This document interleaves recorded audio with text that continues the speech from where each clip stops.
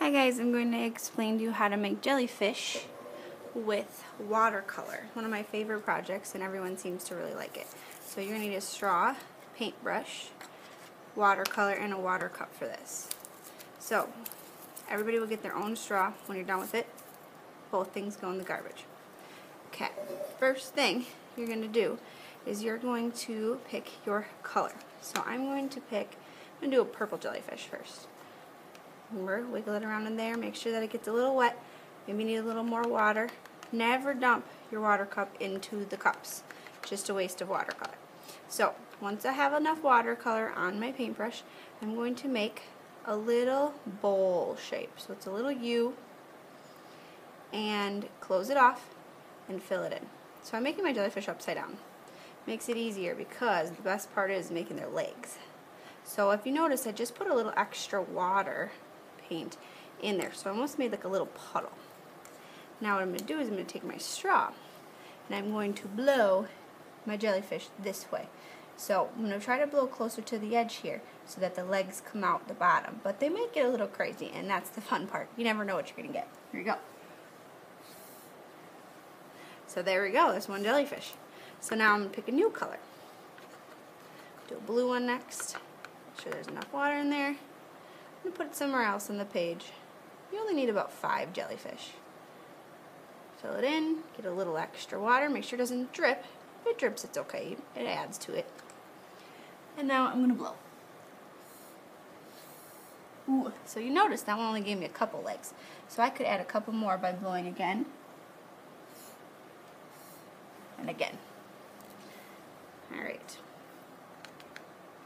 orange one this time. Every time washing off my paintbrush so that I don't get my colors mixed up like you see that happened to this yellow one.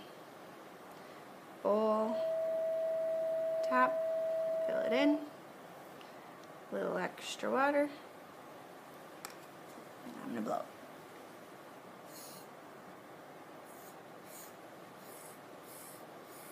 Sometimes it won't go, and if that happens, you can always try to pick it up carefully and tilt it a little bit. And then some of them will drip a little bit more. If you can see how that orange one is dripping, it's going to run into that purple.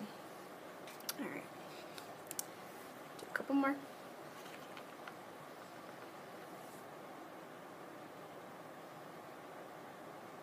Remember, if your water cup gets too dirty, you can always refill it halfway with it, clean water. Mine's doing okay right now.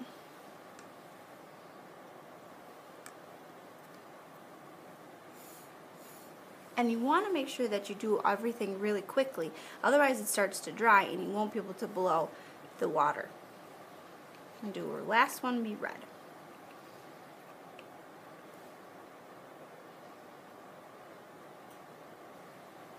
You can always add more if you'd like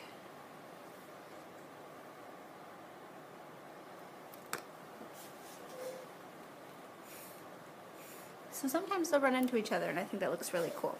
So I have space. I could add at least two more. But I also want to do a little bit of clean splatter paint. And when I mean clean, I mean we're not going to get too crazy. So what you do is you hold your paintbrush. And I'm just going to use my other finger to tap. If anyone starts going like this, paint goes everywhere and it makes a big mess. So we don't want to do that. So we're just going to tap. If you start sh shaking your paintbrush everywhere, you're going to get it taken away. So please don't do that.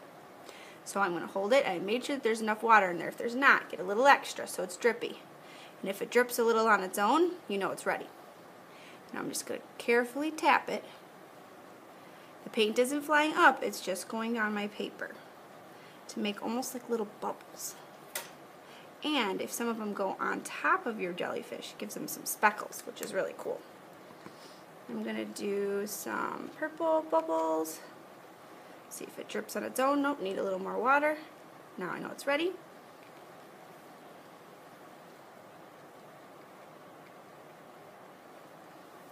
And you could do a couple more colors or leave it like that.